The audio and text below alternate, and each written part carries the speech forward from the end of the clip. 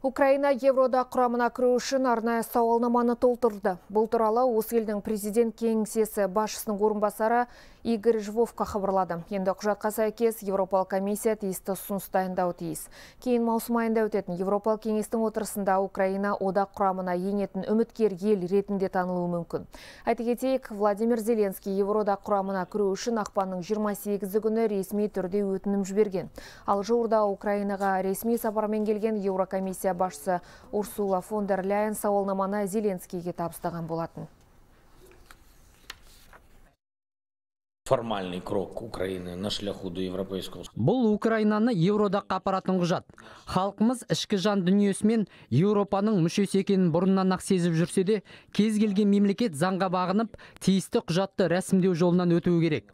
Өкінішке қарай біз бұндай шараны қиын кезеңде орындап отырмыз.